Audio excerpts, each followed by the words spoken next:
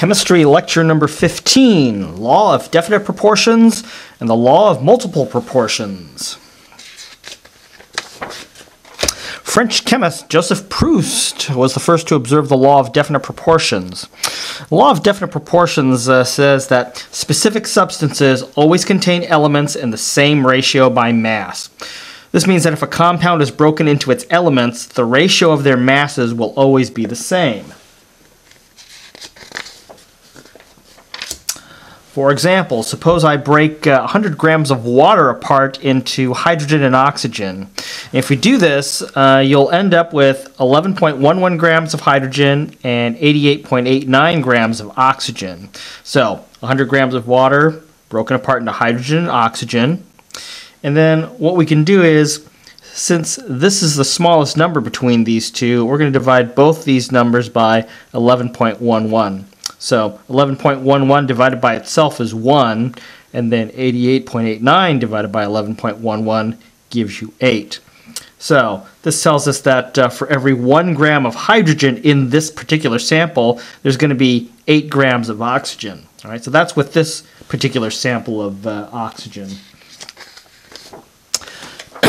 Excuse me. Now, suppose I take a different sample of water, and this different sample of water has a mass of 254 grams, and we take this uh, second sample of water that's a bit heavier, and we break it apart into hydrogen and oxygen.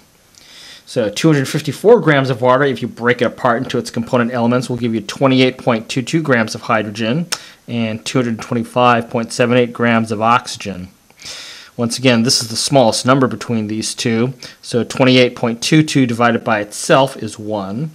And then 225.78 divided by 28.22 gives me 8. So in this other completely different sample, the ratio of hydrogen to oxygen by mass is 1 to 8. So in all samples of water, uh, the ratio by mass of hydrogen to water is going to be 1 to uh, 8.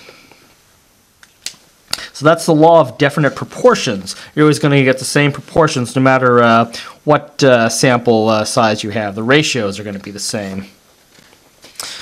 So let's try this problem. When 120 grams of salt is broken into sodium and chlorine, we obtain 47.33 grams of sodium and 72.90 grams of chlorine. Find the ratio by mass of sodium to chlorine. So we'll do this. So it's 120 grams of salt. And when we break it apart, we get 47.33 grams of sodium and 72.90 grams of chlorine. The smallest number between these two is 47.33, so I'm going to divide both these numbers by 47.33.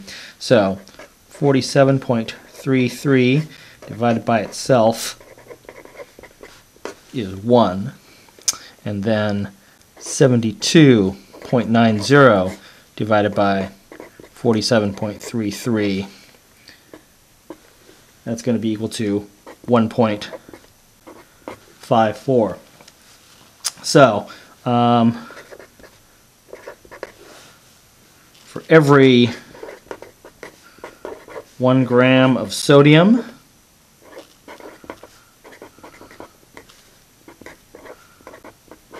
you'll have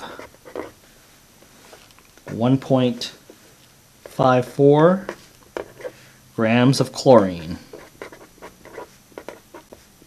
So this is going to hold true in all samples, uh, excuse me, samples of salt. Every sample of salt, every time you break it apart, the ratio of uh, sodium to chlorine will always be 1 to 1.54. So the proportions are always definite. So that's the law of definite proportions. Now we're going to talk about the law of multiple proportions. English chemist John Dalton noticed that uh, two elements could form more than one type of compound. He observed that there was a pattern of ratios in how the compounds were formed. And this pattern is called the law of multiple proportions. I'm going to give you the definition, but it's a mouthful and it's frankly hard to understand just by reading it. But here we go. Law of multiple proportions. The masses of one element that combine with a fixed amount of another element to form more than one compound are in the ratio of small whole numbers. What the heck does that mean? Well, to explain what the heck all this wordage means, uh, I have to set it up as sort of a problem. So to illustrate, we know that carbon and oxygen can form two types of compounds. Uh, you can form carbon monoxide and you can form carbon dioxide. Now, suppose we take a sample of 28 grams of carbon monoxide. And carbon monoxide is a you know poisonous gas produced uh, in the fumes of uh, automobile exhaust. If you breathe it too much, you'll die. Anyway, um, I have 28 grams of carbon monoxide, and I break it into carbon and oxygen. And if I do that, I'll end up with 12 grams of carbon and 16 grams of oxygen. Now, suppose I have um, 44 grams of carbon dioxide. And with this different compound, um, we'll break it apart. So we take 44 grams of carbon dioxide and we'll end up with 12 grams of carbon and 32 grams of oxygen. Now this problem is rigged so that uh, each time we'll end up with 12 grams of carbon for both types of uh, compounds. So just rewriting what we've done so far. We've taken 28 grams of carbon monoxide and broken it apart into 12 grams of carbon and 16 grams of oxygen. We've taken 44 grams of carbon dioxide and broken it apart into 12 grams of carbon and 32 grams of oxygen. Now, we're going to compare the oxygens. And we want to see if there's a ratio between these two. So between these two, the smaller value is 16. So I'm going to divide both of these numbers by 16. So 16 divided by itself is 1. And then 32 divided by 16 is 2. So 32 is uh, 16 times 2. Or the ratio of oxygens between these is 16 to 32, or it's a you know 1 to 2 ratio. 32 is a multiple of 16. So the oxygen seems to be combining in these whole number ratios. So as long as the amount of carbon in both samples is the same, the amount of oxygen in carbon dioxide will always be twice as much uh, as the amount of oxygen in carbon monoxide. Twice or two is a small whole number. Uh, thus, comparing compounds, oxygen combines with carbon in ratios of small whole numbers. So that just means that whenever you compare these two compounds that are different but have the same constituents, um, the ratio of the constituents is going to be in small whole numbers, and that's holding another element in fixed quantities. Here the fixed quantity is 12. So I hope that clarifies a little bit what law of multiple proportions means.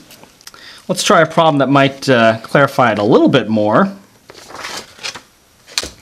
We've got 128.64 grams of iron 2 oxide, and this decomposes to form 100 grams of iron and 28.64 grams of oxygen.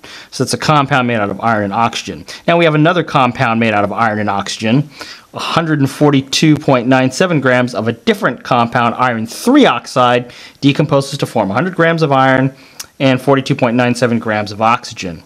What is the whole number ratio of oxygen between the two compounds? All right, so two compounds, both made out of iron and oxygen. We decompose them, and uh, when we decompose it, we know the amount of iron in both compounds is the same. Uh, we want to find the ratio of oxygens. So here's the summary of what we've got. 128 grams of iron oxide breaks apart in 100 grams of iron and 28.64 grams of oxygen. 142.97 grams of iron 3 oxide. We break that apart. We end up with 100 grams of iron uh, and 42.97 grams of oxygen. The amount of iron is fixed. It's the same. Um, the amount of oxygen varies. So we want to find the ratio of oxygens right here. All right, well, the smallest number between these two is 28.64, so I'm going to divide both of these by 28.64. So 28.64 divided by itself, that's going to give me 1, and then 42.97 divided by 28.64.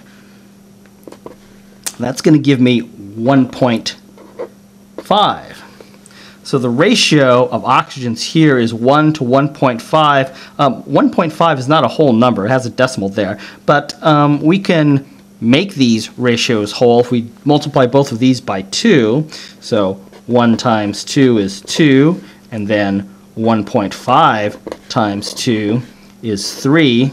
So we find that the whole number ratio is 2 to 3. So that this means that uh, if we keep the amount of uh, iron fixed, uh, the there'll be two masses of uh, oxygen for uh, every three masses of oxygen in the iron oxide. But anyway, the ratios here are 2 to 3 small whole number ratios. So that's what the law of multiple proportions means. You keep one quantity fixed, you compare the ratios of the other things, and you find out that you can uh, get them in small whole number ratios. To obtain a PDF transcript of this lecture, go to www.richardlouie.com. This has been Chemistry Lecture number 15, Law of Definite Proportions and Law of Multiple Proportions.